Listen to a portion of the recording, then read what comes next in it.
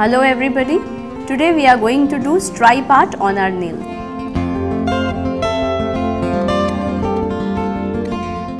The products that we are going to use are white and black acrylic color, Cuccio pastel colors in blue and brown and a white Cuccio color, striper brush and a top coat. To create a stripe nail art, I am using a light blue color. On the long finger, I am covering it entirely. Over the pastel blue color, I am going to use white acrylic color on striper brush to create two intersecting lines.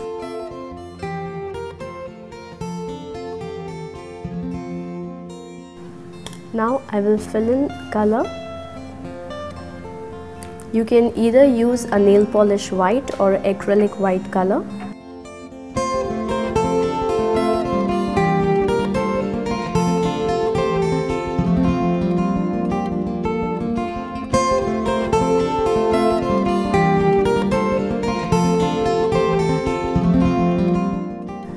We can always wipe out the mess around the nail.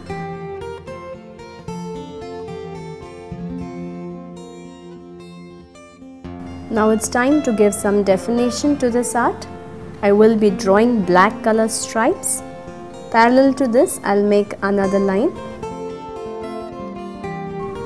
And now crossing these lines, two more parallel lines.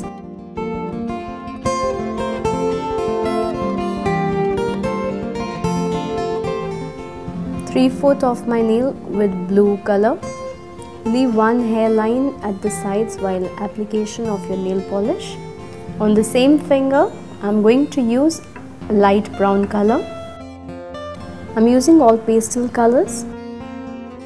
With a corrector pen, I'm giving correction to my nail polish. I'm using a white acrylic color on a striper brush and give it a partition.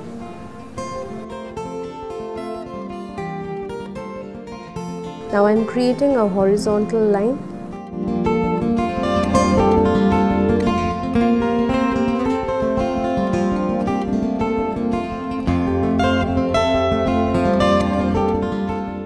So this is a pattern of a horizontal and a vertical stripe over two colors.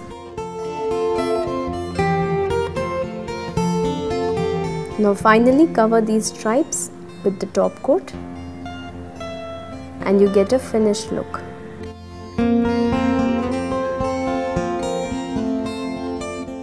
So we'll do our alternate nails in the same way.